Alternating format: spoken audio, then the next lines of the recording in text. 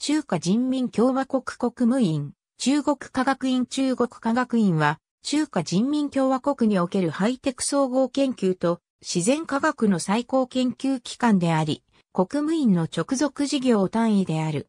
設立は中華人民共和国設立からちょうど1ヶ月後の1949年11月1日である。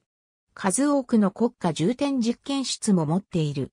中国科学院の実質的な前身は中央研究院と北平研究院である。中央研究院は中華民国及び国民政府の台湾移転に伴って台北市へ移転し、そこで再建された。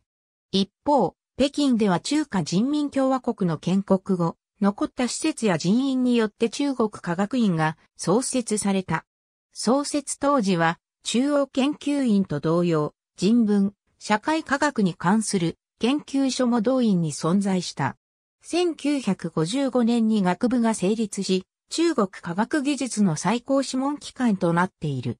現在、数学物理、科学、生命科学、医学、地学、情報技術科学、技術科学学部の6学部がある。1977年に中国社会科学院が創設され、人文、社会科学の研究所はそちらへ移管された。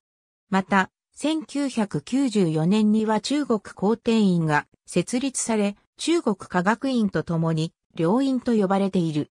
北京や上海など12都市に分院があり、研究所、国家重点研究室、新聞発行機関、国家樹事センターを所有する。